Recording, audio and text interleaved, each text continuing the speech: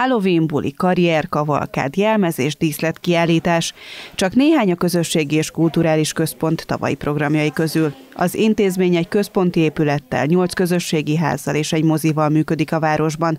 Itt helyet kapnak művelődő közösségek, szakkörök, koncertek, színházi előadások, konferenciák, nyári táborok és tanfolyamok is.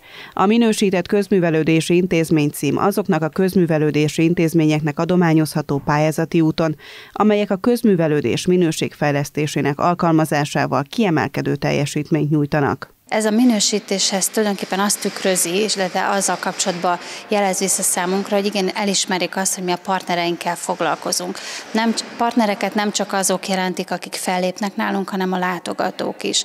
És amikor azt mondjuk, hogy és arra kérjük a látogatóinkat, hogy értékeljék a munkánkat, elégedettségmérőket töltsenek ki, akkor mi ezeket a visszajelzéseket feldolgozzuk. Foglalkozunk a panaszokkal is, és igyekszünk mindenkinek a kedvén bejárni. A címet öt évig használhatja a Székesfehérvári Közösségi és Kulturális Központ.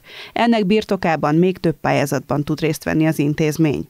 Ez a pályázat, ami ez a cím, ez nyit további pályázati lehetőségeket is számunkra. Én nekem az a tapasztalatom, hogy ez elsősorban marketing célú pályázatok, hiszen azt is láthatjuk országosan, hogy erre azért kevesebb jut a művöldési házaknál. Tehát egy egyszerű plakát elkészítése, azért már szerintem ezen túl van a világ, sokkal több pénzt kellene fordítanunk arra, hogy az online térben minél többet jelen legyünk.